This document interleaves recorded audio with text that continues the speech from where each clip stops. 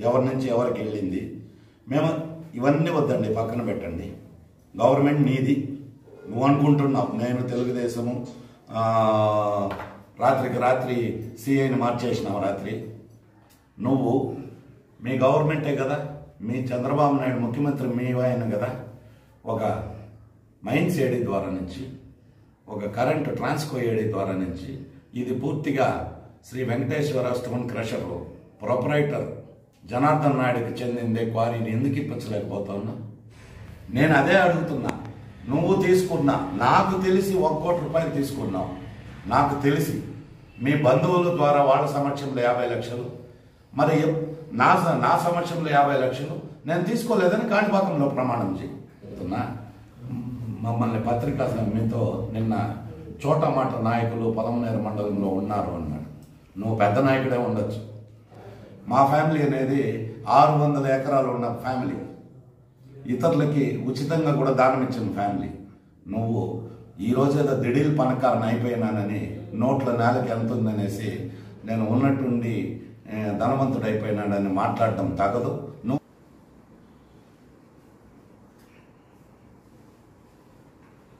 Okay start చేసాను పలమనేరు పుర ప్రజలకి మరియు రూరల్ మండల ప్రజానీకానికి పాత్రికేయులకు అందరికీ కూడా నమస్కారాలు నిన్నటి రోజు కొంతమంది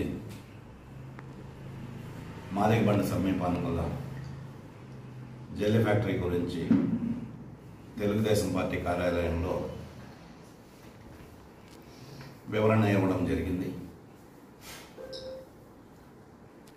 దానికి సంబంధించి ఆ క్వారీ యజమాని నేనే అని చెప్పుకునే జనార్దన్ నాయుడు అనే వ్యక్తి అనేక రకాలైన హావభావాలు ప్రదర్శిస్తూ సినిమాలో బ్రహ్మానందం లాగా నన్ను కాపాడండి. వైఎస్ఆర్ వాళ్ళు నన్ను అరాధ్య చేస్తున్నారు.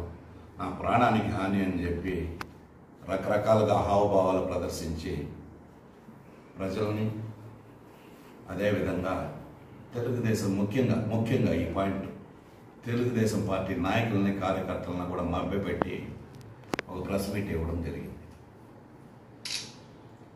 దానికి మొత్తాసుగా స్థానిక కొలమాసనపల్లి పంచాయతీలో ఒక గ్రామానికి పంచాయతీలో ఒక గ్రామానికి చెందిన ఒక తెలుగుదేశం నాయకుడు కూడా వారికి మద్దతుగా మాట్లాడటం జరిగింది. ఈ వివరాలు మళ్ళీ చెప్తాం. మొదట మీకు మేము పూర్తి స్థాయిలో ఈ ఫ్యాక్టరీ గురించి వివరణ ఇవ్వాలి. ప్రజలకు వాస్తవాలు తెలియాలనే ఉద్దేశంతో ఈరోజు కొంత సమయమైనా కూడా మేము దీని గురించి ఎక్కువ మందితో లేకుండా ఉన్న కొద్దిమంది నాయకులతో ఇది ఇస్తున్నాం. ఈ జెల్లీ ఫ్యాక్టరీ మొదట కేశవ నాయుడు అనే వ్యక్తిది. ఆయన కుమారుడు మోహన్ బాబు గారి పేరిట ఈ జెల్లీ ఫ్యాక్టరీ నడుస్తుంది. ఒకప్పుడు అంటే రెండు వేల పద్దెనిమిది వరకు. ఆనాటి తెలుగుదేశం ప్రభుత్వంలో ఎవరైనా క్వారీని కానీ లేకపోతే జల్లు ఫ్యాక్టరీని కానీ కొంటే ట్రాన్స్ఫర్ అనేది ఉండదు. ఈ జనార్దన్ నాయుడు అనే వ్యక్తి వాళ్ళ దగ్గరికి వెళ్ళి తొంభై ఎనిమిది పర్సెంట్ షేర్ హోల్డర్ కల్పించుకొని ఒక కోటి పదహైదు లక్షలు నిన్న మీకు చూపెట్టాడు. అగ్రిమెంట్ లాగా రాసుకొని అతన్ని టూ పర్సెంట్ షేర్ హోల్డర్గా చూపిస్తూ అసలు ఓనర్ని ఎందుకంటే ట్రాన్స్ఫర్ కాదు కదా జనార్దన్ నాయుడు పైన పాలసీ గవర్నమెంట్ పాలసీ ప్రకారం. అందుకని రెండు శాతం పార్ట్నర్షిప్ను కల్పిస్తూ అతనికి మోహన్ బాబు అనే వ్యక్తికి రెండు శాతం జనార్దన్ నాయుడు అనే వ్యక్తికి తొంభై ఎనిమిది శాతం. కల్పిస్తూ ఒక అగ్రిమెంట్ రాసుకొని రెండు వేల పంతొమ్మిది జనవరిలో ఈ ఫ్యాక్టరీని కొనుక్కున్నాడు. జనార్దన్ నాయుడు అనే వ్యక్తి. అటు తర్వాత రెండు వేల పంతొమ్మిది మే ఇరవై రెండో తారీఖు మన గంగ జాతర జరిగే సమయంలో ఈ జనార్దన్ నాయుడు అనే వ్యక్తి ఈ ఫ్యాక్టరీని పూర్తిగా తన అధీనంలోకి తెచ్చుకునేదానికి అతని నుంచి రాసు అగ్రిమెంట్ మాత్రం రాసుకున్నాడు. రిజిస్ట్రేషన్ ఏం లేదు. మళ్ళీ కొద్ది రోజులకే ఈ తొంభై ఎనిమిది పర్సెంట్ వాటాలో నలభై తొమ్మిది శాతం వాటాని వీకోట పట్టణానికి చెందిన సుధాకర్కి అమ్మేశాడు.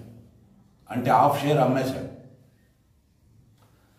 దానికి సంబంధించి కూడా పూర్తి డాక్యుమెంట్స్ మీకు ఒక్కొక్కరికి మీ చేతికి డాక్యుమెంట్స్ కూడా పూర్తి స్థాయిలో మీకు ఇస్తాం. ప్రతి ఒక్కటి.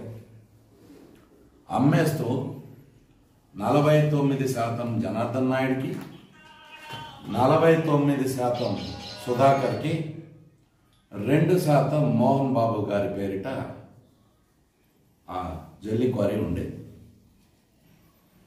ఆ తర్వాత రెండు వేల పంతొమ్మిదిలో ఆ క్వారీ పైన పదహారు లక్షలు అరియర్స్ ఉండేది. అంటే ఆ క్వారీకి సంబంధించిన ట్యాక్సులు కానీ రకరకాల వివిధ రకాల పన్నులు బాకీ ఉంది అందుకని చెప్పి ఆ టెక్నికల్ ప్రాబ్లం వలన నువ్వు క్వారీ రన్ చేయొద్దు అని చెప్పి ఏడీ గారు ఆపివేయడం జరిగింది. దీనిపైన సంబంధిత అప్పటి ఎమ్మెల్యే వెంకటగావులు గారిని కలవడం ఆయన ఇంట్రెస్ట్ చూపించకపోవడం తర్వాత పదిహేను రోజులు దాదాపు ఈ ఫ్యాక్టరీ కోసం ఒకటిన్నర నుంచి రెండు మాసాలు అటు విజయవాడకు కానీ ఎమ్మెల్యే వద్దకు కానీ మరి ఇటు వచ్చి మళ్ళీ ఎమ్మెల్యే గారు ఇక్కడ అందుబాటులో ఉంటే ఇక్కడ కానీ తోటకనం కానీ తిరిగాం. ఎమ్మెల్యే గారు అప్పటి ఎమ్మెల్యే గారు దీనిపైన ఇంట్రెస్ట్ చూపించలేదు సరే ఎమ్మెల్యే గారు ఏమి ఇంట్రెస్ట్ చూపించలేదు చేసుకోమన్నాడు. నేను బాధపడి నువ్వు చేసుకొని ఏడికి చెప్పేశాడు. ఆ సమయంలో ఈ జనార్దన్ నాయుడు అనే వ్యక్తి అన్న ఇది అమ్మకానికి పెట్టేద్దాం ఈ క్వారీ పూర్తిగా నాకు డబ్బులు అవసరము.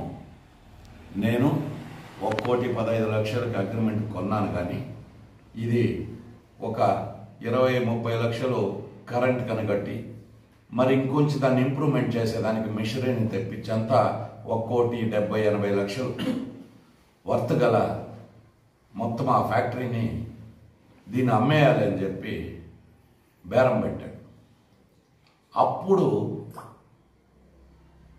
వీకోట పట్టణానికి చెందిన మండి వ్యాపారి పిఎన్ నాగరాజ గారికి మూడు కోట్లకు వ్యాపారమైంది.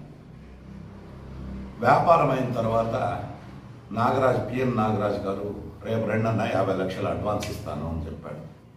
సరే వచ్చి ఈ విషయము అప్పటి వరకు సపోర్ట్ చేసిన ఎమ్మెల్యే గారికి తెలియపరచాలనే ఉద్దేశంతో తోట కనుక్కొచ్చినాం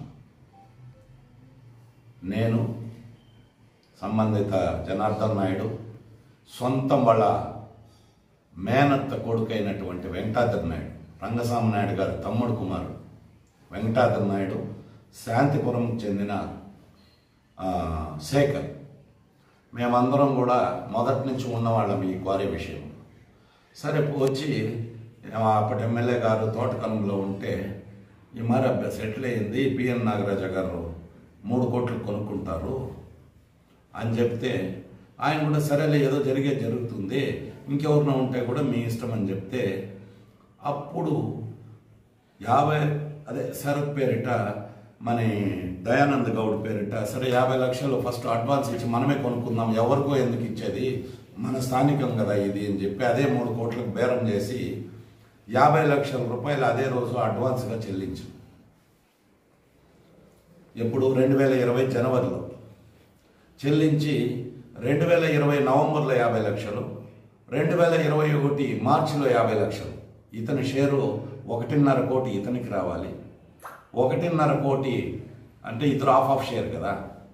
అంటే సుధాకర్ గారు మరియు జనార్దన్ నాయుడు. మూడు కోట్లు ఒకటిన్నర కోటి జనార్దన్ నాయుడుకి ఒకటిన్నర కోటి సుధాకర్కి అని చెప్పి మాట్లాడారు. సుధాకర్కి ఒకటిన్నర కోటి నేను మీ దగ్గర తీసుకుంటాను. ఆ ఒకటిన్నర కోటి మీరు జనార్దన్ నాయుడుకి ఇచ్చేయండి అని చెప్పాడు. ఆ రోజే యాభై లక్షల రూపాయలు అడ్వాన్స్గా చెల్లించినాం. దానికి సంబంధించింది కూడా మీకు అతను సైన్ చేసి స్టాంప్ బిళ్ళ పైన సైన్ చేసి అగ్రిమెంట్ లాగా రాసి యాభై లక్షల రూపాయలు తీసుకున్నాడు. ఈ సైన్ చేసి రాసుకునేది కూడా నిన్న ఆయన వాదనలు చేసినాడు కదా. సిఐ గారు నన్ను కూర్చోబెట్టి బైరెడ్పల్లి స్టేషన్లో నలభై మంది పోలీసు వాళ్ళని కాపలా పెట్టినాడు ఆ రోజు ఇతను తప్పించుకు తిరుగుతోని ఆ యాభై లక్షల రూపాయలు తీసుకొని బళ్ళన్నీ కూడా దొంగలించుకుపోవాలనే ఉద్దేశంతో ఇంత ట్రైలర్ తెస్తే ఆ ట్రైలర్ ఆపేదానికి ఇన్ని బైరెడ్డిపల్లి స్టేషన్లో కూర్చోబెట్టడం జరిగింది వాస్తవం ఇది అంతేగాని అతని పైన కక్షతోనో ఏ విధమైన ఇది లేదు. మళ్ళీ వచ్చి కూర్చోబెట్టి ఆ యాభై లక్షల రూపాయలు తీసుకున్నావు కదా తీసుకుని రెండు సంవత్సరాలు అయింది కదా నువ్వు రాసిచ్చిపో అంటే రాసిచ్చి స్టాంప్ పైన మరి ఆయన మొత్తం రాసి దానికి సంబంధించిందంతా కూడా ఇస్తాం. అది అడ్వాన్స్గా యాభై లక్షల రూపాయలు చేరింది ఆ తర్వాత అప్పుడే మేము మొదటి రోజు మాట్లాడినప్పుడు బేరం మాట్లాడినప్పుడే బళ్ళు మూడు ఉన్నాయి.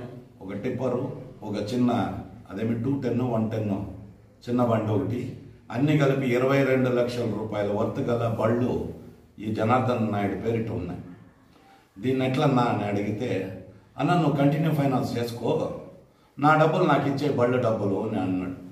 ఎవరో జనార్దన్ నాయుడు. ఆ ఇరవై రెండు లక్షల రూపాయల విలువైనటువంటి ఆ టిప్పర్ కానీ ఆ జేసీబీ కానీ వీటికి పదహైదు లక్షల రూపాయలు మతింపు వేసి ఆ పదహైదు లక్షల రూపాయలు కూడా ఇచ్చేసినాం. కంటిన్యూ ఫైనాన్స్లో మేము కట్టుకుంటాము. ప్రతి నెల కూడా ఫస్ట్ మూడు మాసాలు నా దగ్గరికి డబ్బు పంపించేవారు. ప్రతి నెల డ్యూ డేట్ కరెక్ట్గా కట్టేవాడు ఆ తర్వాత రెండు వేల ఇరవైలో మార్చిలో లాక్డౌన్ అయిపోయింది. ఎవరికి ఎక్కడ బయటకు రావడానికి వీల్లేదు. రెండు వేల ఇరవై ఒకటి నవంబర్ వరకు ఎవరి ట్రాన్సాక్షన్స్ ఎక్కడా జరగలేదు. ఇది ఒకటిన్నర సంవత్సరం అయిన తర్వాత ఇతను మాకు అందుబాటులో లేకుండా పోయాడు. మమ్మల్ని సంప్రదించడం మానేశాడు. ఎవరో జనార్దన్ నాయుడు అనే అతను. సొంత వాళ్ళ మేనమామ కొడుకునే. వెంకటాద్రి నాయుడిని కూడా.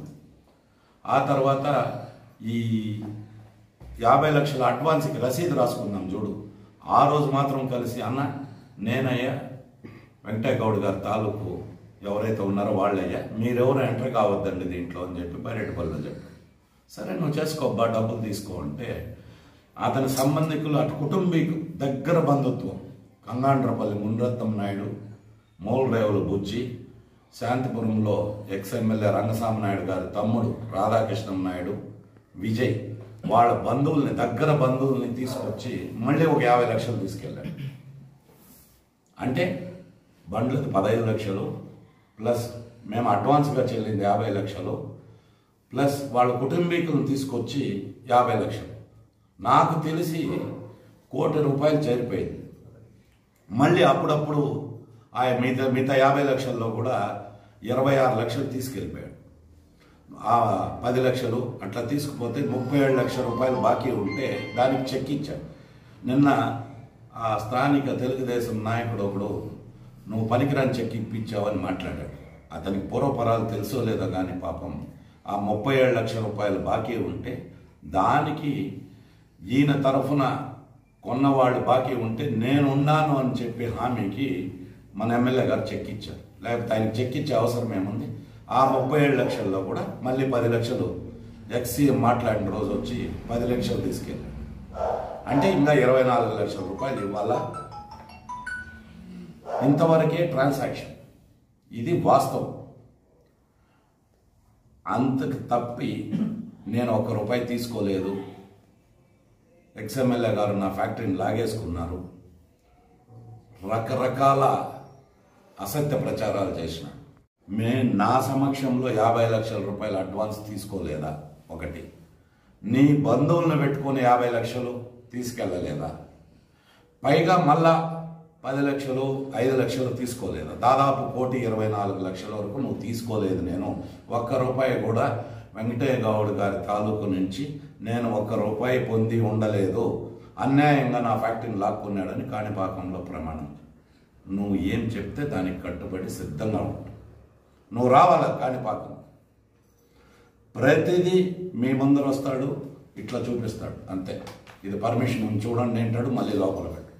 అందుకే ఈరోజు మీకు అన్ని రకాల డాక్యుమెంట్ ఇస్తున్నాం. ఒకటి లీజ్ దాడ్ అయినటువంటి శరత్ కుమార్కి మైన్స్ ఆఫీస్ వాళ్ళు ఇచ్చి కొందరికి ప్రొసీజర్ తెలియదు పాపం వాళ్ళకి. ఫేక్ డాక్యుమెంట్స్ ప్రతి ఒక్కటి అంటారు. ఎవరిదైనా కానీ లీజ్ అగ్రిమెంట్ లీజ్ని ఫ్యాక్టరీ లీజ్ని ట్రాన్స్ఫర్ చేయాలంటే సీసీ ఫుటేజ్ పర్యవేక్షణలో ఏడీ గారి ఛాంబర్లోనే కూర్చొని నూట యాభై సైన్ల వరకు చేయాల్సి వస్తుంది. ఇప్పుడు నేను లీజుదారుడు. ఇతనికి నేను ట్రాన్స్ఫర్ చేయాలంటే మేమిద్దరూ కూర్చొని సీసీటీవీ ఫుటేజ్ పర్యవేక్షణలోనే జరగాలి. అది పూర్తిగా జరిగింది. అది ఫేక్ అంటాడు. వాళ్ళు ఇచ్చిన లీజు ఫేక్ అంటాడు. వాళ్ళు రాసిచ్చిన మొత్తం మా పద పంతొమ్మిది ఎకరాల భూమి ఫేక్ కట్టాడు. తర్వాత అతను ఇదే ఇంకో ఇప్పుడు మీకు ఇంకో వివరణ ఇవ్వాలి ఈ నలభై తొమ్మిది పర్సెంట్ డైరెక్ట్గా మాకు అమ్మాడు ఒకటి. మిగతా నలభై తొమ్మిది పర్సెంట్ ఉంది కదా. సుధాకర్ దగ్గర. సుధాకర్ వచ్చి సెందిల్కి ఇచ్చాడు. ఎందుకంటే సుధాకర్కి డబ్బులు ఇవ్వాలి సెందిల్కి సుధాకర్. సెందిల్కి మార్చాడు. సెందిల్ నుంచి మన శరత్ కోచ్. దానికి సంబంధించిన డాక్యుమెంట్స్ అన్నీ కూడా ఇక్కడే ఉన్నాయి. ఆ రెండు పర్సెంట్ కలిగిన మోహన్ కూడా దుబాయ్లో ఉంటాడు. ఇదే సుధాకర్ జనార్దన్ నాయుడు ఇద్దరు అతనికి ఫోన్ చేశారు. రా వాళ్ళకి మార్చేయాలా? మనం పూర్తిగా. ఈ గవర్నమెంట్ వచ్చినాక ట్రాన్స్ఫర్ అయ్యి జరిగింది. నువ్వు రా పూర్తిగా మార్చేయాలంటే అతను వచ్చాడు పాప. అతను వస్తే ఆరు నెలలు వెయిట్ చేయించి డబ్బులు ఇవ్వలేదు అతనికి. చివరికి శరత్తే అతనికి తొమ్మిది లక్షల రూపాయలు చెల్లించి ఈ ఆ క్వారీ ఉన్న ప్రాంతాన్ని శరత్ పైన మార్చుకున్నాడు. ఆ మార్చినప్పుడు కూడా సుధాకర్ బిల్డింగు ప్లస్ ఇతను బిల్డింగ్తోనే జరిగింది. ఇది వాస్తవం. మీకు ఏదైనా డౌట్లు ఉంటే దయచేసి అడగండి. ఇక ఆధార్ కార్డు. నిన్న అన్నాడు అయ్యా వైఎస్ఆర్ కాంగ్రెస్ పార్టీ చేసే అరాచకానికి భయపడి రెండు వేల ఇరవై ఒకటిలో నేను కర్ణాటకకు పారిపోయినా నాకు ఉండింది ఒక ఆధార్ కార్డే ఒక అడ్రస్సే మీతోనే అన్నాడు. మీరు కర్ణాటకకు పారిపోతే మరి రెండు వేల పదమూడులో నీకు కర్ణాటక ఆధార్ కార్డు ఎట్లా వచ్చింది దయచేసి ఇది మీరు బాగా గమనించాలా? దీన్ని దగ్గరగా చూడండి. రెండు వేల పదమూడులోనే కర్ణాటక ఆధార్ కార్డు రెండు వేల పదమూడులో ఏ గవర్నమెంట్ ఉండింది వైఎస్ఆర్ గవర్నమెంట్ ఉండిందా ఇస్తాను. ఇప్పుడు మీకు చూపిస్తుంది ఇది ఇక్కడ అక్కడ పెట్టుకోండి ఓటు హక్కు. ఇది కర్ణాటకలో ఓటు హక్కు. ఇతని భార్య కూడా రెండు వేల పద్దెనిమిదిలోనే ఎప్పుడో బీజేపీ మెంబర్గా పూజారిపల్లి అనే సెగ్మెంట్లో నిలబడి ఓడిపోయింది. ఎవరో జనార్దన్ నాయుడు భార్య. ఇది రెండు చోట్ల ఓటు హక్కు కలిగినాడు. ఇది పెద్ద నేరం. అతను అన్నాడు నేను ఆధార్ కార్డు వైఎస్ఆర్ అరాచకానికి భయపడి దీనికి వెళ్ళిపోయినాను. ఇదో, ఇది మీరే బాగా దగ్గరగా చూడండి. డేట్ ఆఫ్ ఇష్యూ ఏది? దొడ్డ కంబల్లో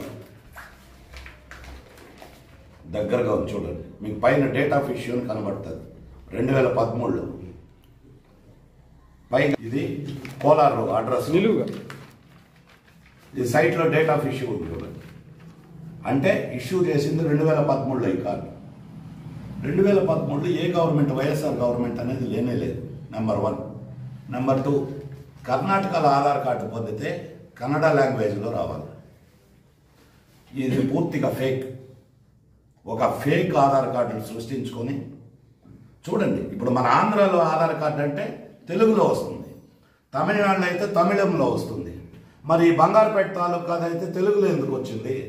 కన్నడలో కదా ఒక ఆధార్ కార్డు ఉండాలా? మీరు ఆలోచించండి విలేకరులుగా ఇతనికి ఏమైనా స్పెషల్ ఆప్షన్ ఏమైనా ఉంటే మాకు తెలియదు లేదా ఇతను విఐపి కదా చంద్రబాబు నాయుడు దగ్గర అంతా అతను ఏ రకంగా అయినా చేసుకోగలడు. ఈ రెండు వేల పదమూడులో ఆధార్ కార్డు పొంది పైగా నాకు దొడ్డకంబలి అనే గ్రామంలో బిజినెస్లు ఉన్నాయి. భూమి ఉంది. నేను ముప్పై మూడు వంద శాతము శాంతిపురానికి చెందిన వ్యక్తి అన్నాడు. ఇతను మీకు కావాలంటే త్వరలో కూడా బర్త్ సర్టిఫికేట్ ఇప్పిస్తాం. అతను చదివిన విద్యాభ్యాసం యా ఊర్లో జరిగింది.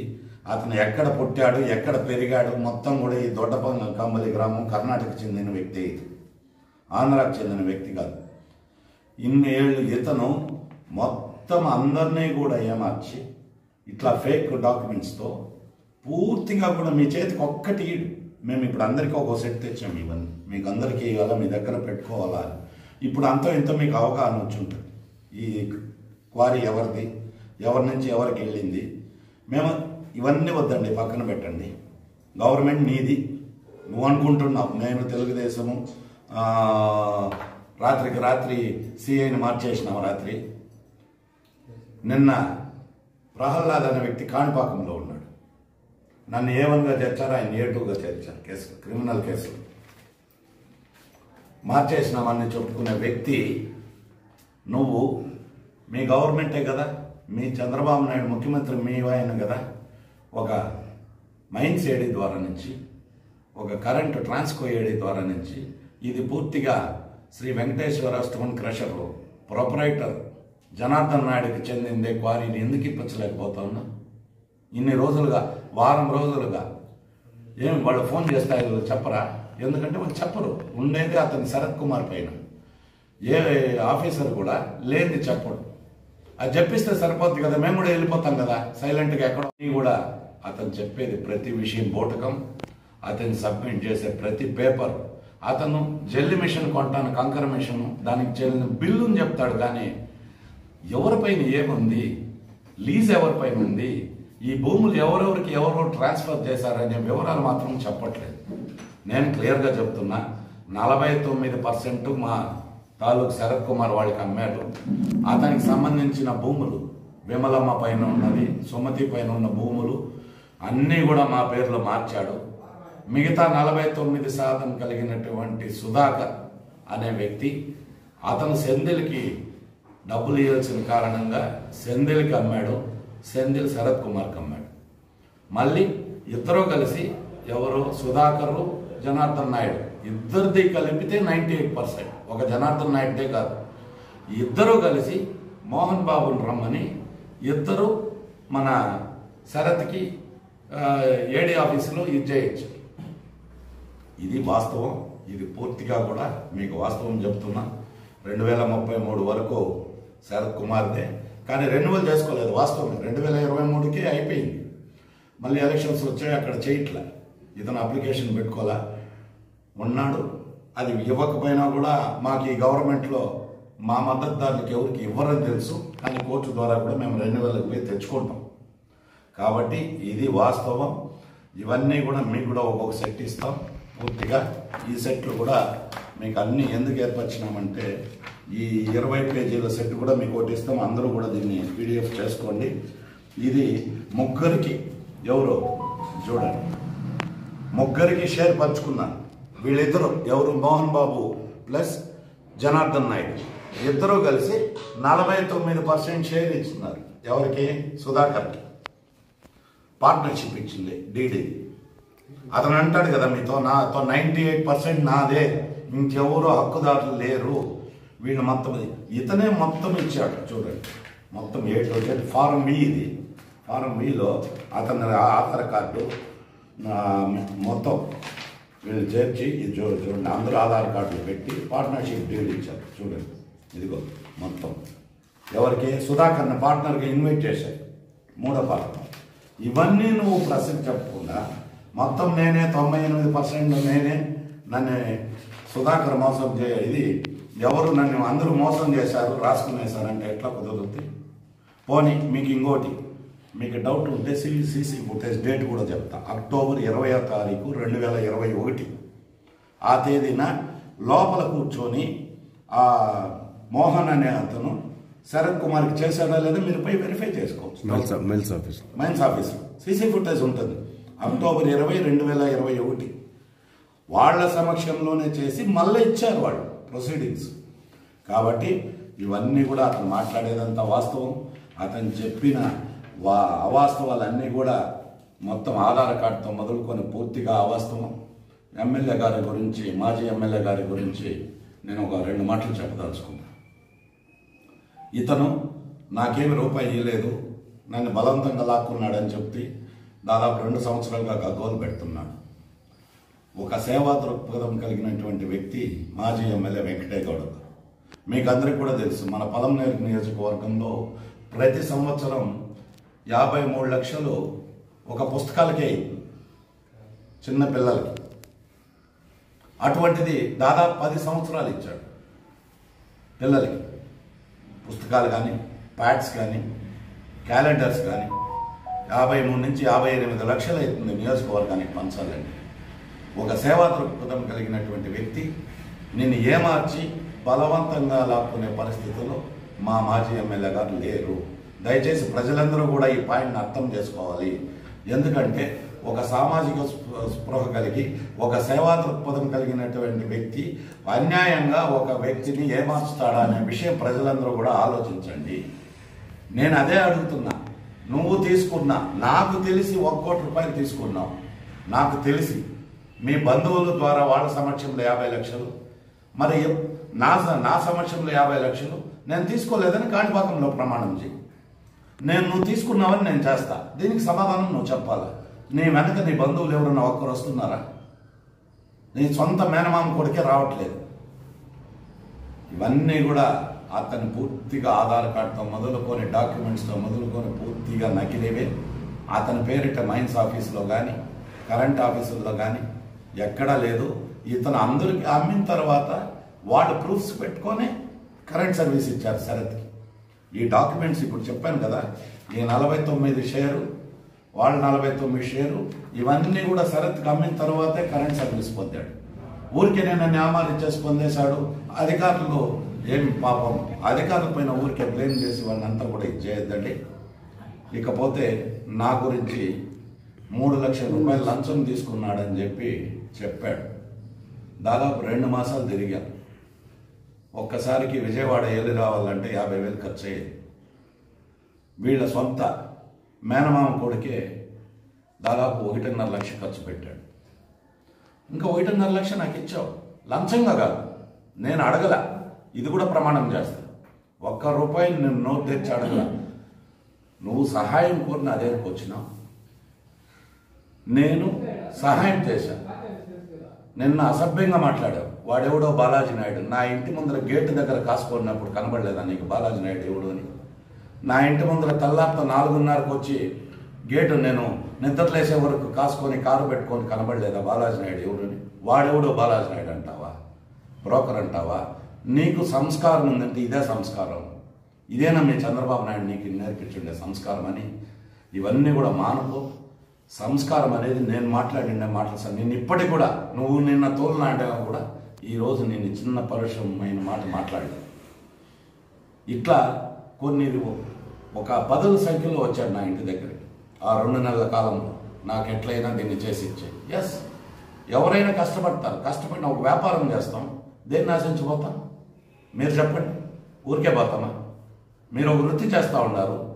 మీకు మీ ఛానల్ వాళ్ళు మీకు జీతం ఇస్తారు. నేను రెండు నెలలు కష్టపడినా లేదు ఇవ్వకపోయినా కూడా మీ కష్టాలు పడి చేసుకుంటారు. ఒక రెండు నెలలు భార్య పెట్టిన వదిలి నీకోసం అనేక సార్లు ప్రయాణిస్తే నేను అడిగింటే తప్ప అది కూడా నేను అడగల నువ్వేం తృప్తి పట్టించినావు నేనేం దీంట్లో అంతా మోసగించలేదు చెప్పలేదు. ఆ తర్వాత స్థానిక ఒక గ్రామ నాయకుడు మళ్ళీ మాట్లాడాడు తెలుగుదేశం పార్టీ కార్యాలయం. ఇతన్ని మోసగించేసినారు పూర్తిగా అన్యాయం చేసేసినారు. అని చెప్పి కౌంటింగ్ అవుతానే పారిపోయినారు అని చెప్పి పదహైదు లక్షలు నీకు కంటిన్యూ ఫైనాన్స్ కింద డబ్బులు ఇస్తే బళ్ళు తీసుకోపోకుండా ఉంటారా? వాళ్ళ బళ్ళు. పోని ఆ బళ్ళు ఎక్కడున్నాయో తెలుసా మీకు? సుందరం ఫైనాన్స్లో సీజ్ కాబడి వాళ్ళు తీసుకుపోయింది. మాజీ ఎమ్మెల్యే గారు కాదు. సుందరం ఫైనాన్స్ వాళ్ళు బళ్ళకి డ్యూ కట్టలేదని. ఓకే వైట్ రెడ్ ఒక వ్యాపారం అన్నాక ఉంటాయి. ఇవన్నీ కూడా మానుకోండి. ఆ స్థానిక తెలుగుదేశం నాయకుడికి ఒకటే చెప్తున్నా. మమ్మల్ని పత్రికా మీతో నిన్న చోట మాట నాయకులు పదమనేరు మండలంలో ఉన్నారు అన్నాడు. నువ్వు పెద్ద నాయకుడే ఉండొచ్చు. నువ్వు జిల్లా స్థాయిలో రాష్ట్ర స్థాయి నాయకుడే ఉండొచ్చు. ఒకరోజు నీ చెల్లెల్ని మా ఊర్లో ఇచ్చావు. వాళ్ళ బిడ్డ మొబైల్ దొంగలు ఇచ్చేస్తే నా దగ్గరకు వచ్చి కాడు పట్టుకున్నాను కేసు లేకుండా చేయన్నా కాపాడా? ఒకరోజు ఫోన్ చేసి మూడేళ్ళకు ముందు అన్న నా బిడ్డ జీవితం పోతుంది. సచివాలయంలో ఒక సర్టిఫికేట్ కావాలా? నీ కాళ్ళు పట్టుకుంటా. వాళ్ళు ఇవ్వమంటా ఉన్నారు అంటే ఫోన్ చేసి చెప్తే కులమాసనపల్లి సచివాలయంలో సర్టిఫికేట్ ఇచ్చి ఆ పాపని అడ్మిషన్ చేశారు. అన్నీ కూడా ఉన్నాయి మర్చిపోవద్దు. నువ్వు ఒకసారి వెనక్కి కూడా తిరిగి చూసుకోవాలా? మా ఫ్యామిలీ అనేది ఆరు వందల ఎకరాలు ఉన్న ఫ్యామిలీ. ఇతరులకి ఉచితంగా కూడా దానం ఇచ్చిన ఫ్యామిలీ. నువ్వు ఈ రోజు ఏదో దిడీల్ పనకారని అయిపోయినానని నోట్ల నేలకి ఎంత ఉందనేసి నేను ఉన్నట్టుండి ధనవంతుడు అయిపోయినాడని మాట్లాడటం తగదు. నువ్వు కూడా నా దగ్గర సహాయం పొందినాడే. ఆ రోజు ఎంత ఇచ్చావు లంచం నువ్వు? నీ కూతురి కోసం ఎంత ఇచ్చావు? నీ చెల్లెలు కొడుకుని కాపాడే రోజు ఎంత ఇచ్చావు నాకు లంచం? ఇది నువ్వు పత్రికాముఖంగా చెప్పినా చెప్పకపోయినా నీ సంస్కారానికి వదిలేస్తా. దీన్ని ఇంతటితో వదిలిపెట్టేస్తాం. అందరికి కూడా ఇది మాట్లాడడానికి చాలా మీకు అందరికి కూడా పత్రికాముఖంగా ఈ వివరంగా తెలిపిన దానికి ధన్యవాదాలు తెలుపుతూ సెలవు తీసుకో. అందరికీ నమస్కారం. మేము పలమనేరు నియోజకవర్గంలో నేను సుమారుగా రెండు వేల ఒకటిలో రాజకీయాల్లోకి రావడం జరిగింది. ప్రత్యక్ష రాజకీయాల్లోకి. మా ఫ్యామిలీ ముందు నుంచి ఉండింది రోజు తొంభై ఆరులో మా అక్క సర్పంచ్గా ఉంది నేను రాజకీయాల్లోకి రావడం జరిగింది. పంచాయతీలో పోటీ చేసినాం జిల్లా పరిషత్ మెంబర్గా ఉన్నాం. అదేవిధంగా మార్కెట్ కమిటీ చైర్మన్గా ఉన్నాం. సుమారు ఈ ఇరవై నాలుగేళ్ళ రాజకీయ చరిత్రలో నేను ఎస్సీ సామాజిక వర్గం నుంచి వచ్చినా కానీ రాజకీయాల్లో హోందాగా ఏ రోజు కులాన్ని అడ్డం పెట్టుకొని కానీ లేదు రాజకీయాల్లో ప్రత్యర్థులపైన కేసులు పెట్టడమో బెదిరించడము ఇలాంటివి మేమైతే ఈ ఇరవై ఇరవై నాలుగు సంవత్సరాలు ఎక్కడ వన్ పర్సెంట్ కూడా చేయలేదు నాకు తెలిసి. ఈ ఇరవై నాలుగు సంవత్సరాలు కూడా ఒక కేసు ఎవరిపైన పెట్టలేదు ఒక కేసు మేము పెట్టించుకోలేదు. అంటే ఎంత సంస్కారవంతంగా రాజకీయాలు చేసినామో దాన్ని బట్టి అందరికీ అర్థమవుతారు మా సాయం కోరి ఏ పార్టీ వాళ్ళు వచ్చినా ఏ ఒక్కరు మమ్మల్ని అడిగినా కూడా సహాయం చేసినామే తప్ప ఏ రోజు వాళ్ళని రాజకీయంగా చూసినటువంటి దాఖలాలు అయితే పూర్తిగా లేవు. అదేవిధంగా రాజకీయాల్లో ఒక పార్టీ తరఫున ప్రతినిధులుగా ఉన్నప్పుడు రాజకీయంగా ఒకరిపైన ఒకరు మాట్లాడుకోవడం జరుగుతూ ఉంటుంది. ఈ రాజకీయ విమర్శలు విమర్శలు కానీ సద్విమర్శలు కానీ అవి స్పోర్టివ్గా తీసుకుంటాం. అంతేగాని వ్యక్తిగతంగా ఒకరికి ఒకరికి విభేదాలు అంటూ రాజకీయాలు ఏమి ఉండవు. దాని వచ్చిన విమర్శలను కూడా మనం రాజకీయంగా తీసుకొని ముందుకు వెళ్తా ఉన్నాము కానీ ఏ రోజు కక్షపూరితంగా రాజకీయాల్లో వన్ పర్సెంట్ కూడా మేమైతే పూర్తిగా ముందరకు పోయినటువంటి ఆలోచన లేదు. మేము ఈ రెండు మూడు రోజులుగా క్వారీ పైన కొన్ని విషయాల్లో మాట్లాడటం జరిగింది. నిన్న మేము ఆర్డీఓ ఆఫీస్ దగ్గర ఆర్డీఓ గారితో కలిసి మేము మా మిత్రుడు చంగారెడ్డి నేను అక్కడి నుంచి కాణిపాకంకి చిత్తూరు టోల్ గేట్ గుండా కాణిపాకం టెంపుల్కి పోయి మళ్ళా మేనకా హోటల్లో భోజనం చేసుకొని ఈవినింగ్ కల్లా పొలంనేరుకి రావడం అంటే నిన్న క్వారీ దగ్గరకు వెళ్ళిన సంఘటనలో పూర్తిగా నేను లేను.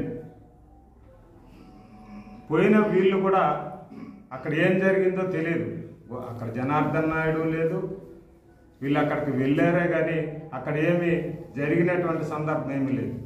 కానీ ఒక పక్క రాష్ట్రం అతను నైట్కి నైట్ ఒక కంప్లైంట్ ఇచ్చి స్థానికుల పైన ఎస్సీలని లేదు బీసీలని లేదు నాయుడని లేదు రెడ్డి అని లేదు. అన్ని కులాల పైన కేసులు పెట్టి బెదిరించేటువంటి ధోరణితో మేము పై అధికారుల దగ్గరికి పోతామని జనార్దన్ నాయుడు బెదిరిస్తే రాజకీయాల్లో ఎవరు బెదిరేటువంటి వాళ్ళు ఎవరు లేరు. మేము రాజకీయాల్లో ఏ తప్పు చేయకుండా ధైర్యంగా నిలబడి మాట్లాడగలిగే వాయిస్ ఉన్నటువంటి నాయకులు. ఇలాంటి వాళ్ళకి భయపడి రాజకీయాలు చేసేటువంటి తిరిగి అయితే హండ్రెడ్ పర్సెంట్ కాదు అది నువ్వు వెనక్కి తీసుకోవాలి. నాకు ఈ మధ్య నీ మైన కేసు కట్టినారంటే ఖచ్చితంగా నేను అందరికీ తెలియజేస్తున్నా మళ్ళీ నేనే సపరేట్గా ప్రెస్ మీట్ పెడతాం. బాలాజీ నాయుడు కానీ మేము కానీ రాజకీయాల్లో ఇంతవరకు కేసులు లేకన్నా ఆయన సుమారు నలభై ఏళ్ళు ఉంటారు పాపం. కేసులు లేకన్నా రాజకీయాలు చేసినటువంటి వ్యక్తులే. ఖచ్చితంగా నేను టోల్గేట్ సీసీ ఫుటేజ్లు గుడి సీసీ ఫుటేజ్లు అన్నీ కూడా ఖచ్చితంగా మళ్ళీ మీడియా ముందర పెడతాం. నేను ఎస్సీ మళ్ళీ చెప్తుండే ఎస్సీ కులంలో పుట్టిన హూండాగా రాజకీయాలు చేసిన ఎవరిపైన కేసులు పెట్టాల? మీరు గొప్ప కులాల్లో పుట్టినారు మాకంటే హీనంగా రాజకీయాలు చేస్తే రాజకీయ హీనులుగా మిగిలిపోతారు. మాలాంటి వారి పైన ఎస్సీల పైన రాజకీయంగా అనగదొక్కాలని తప్పుడు కేసులు పెడితే నేను లేకపోయినా ఉన్నానని నా పైన కేసులు పెడితే నాకంటే మీరు ఇంకా హీనమైన వ్యక్తులని నేను భావిస్తాను. అదే మా జాతి కూడా భావిస్తారు ఇది ఇట్లే కంటిన్యూ అయితే ఖచ్చితంగా నేను ఆధారాలతో మళ్ళీ ప్రెస్ మీట్ పెడతా. మీరు రాజకీయంగా ఎవరైతే మా మీద ఉద్దేశపూర్వకంగా కేసులు పెట్టించారో పెట్టారో వాళ్ళందరినీ కూడా ఖచ్చితంగా వదిలే ప్రసక్తే లేదు. ఇంకా నేను న్యాయస్థానాలకు పోతాం కోర్టులో సబ్మిట్ చేస్తాం. నేను ఎస్సీ నేను ఎస్సీగా పెట్టాలనుకుంటే ఎన్నో కేసులు పెట్టగలతా? కానీ నా సంస్కారం అది కాదు. నేను ఇంతవరకు ఆ పని చేయలేదు ఇంక కూడా చేయను. దయచేసి ఇలాంటి తప్పుడు కేసులు పెట్టేటువంటి వ్యక్తుల్ని ఈ పలంనేరు నియోజకవర్గంలో దూరంగా పెడితే బాగుంటుందని తెలుగుదేశం పార్టీ నాయకుడు తెలియజేస్తున్నాను మీ పార్టీలు ఎవరో పెట్టారు? ఇంకోరు చేశారని కాదు. మేము రాజకీయాలు ఎప్పుడు ఇలాంటి పందాలు పోలేదు. మాకు మీరు మాలాంటి వాళ్ళని మరి ఇలాంటి రొంపులేకి ఈడ్చి రాజకీయాలు దిగజార్చద్దండి. రాజకీయాలు రాజకీయాలకే చూడండి. మళ్ళీ కూడా ఇట్లే కేసును కొనసాగిస్తే ఈ కేసుని ఖచ్చితంగా ఆధారాలతో సహా సీసీ ఫుటేజులతో సహా మీ ముందు ప్రశ్న మీ అందరి ముందు కూడా పెడతాం. రాజకీయంగా మేము ఖచ్చితంగా వీటిని ఎదుర్కొని నిలబడగలుగుతామని కూడా వారు పెట్టిన వారికి వారికి తెలియజేస్తాం.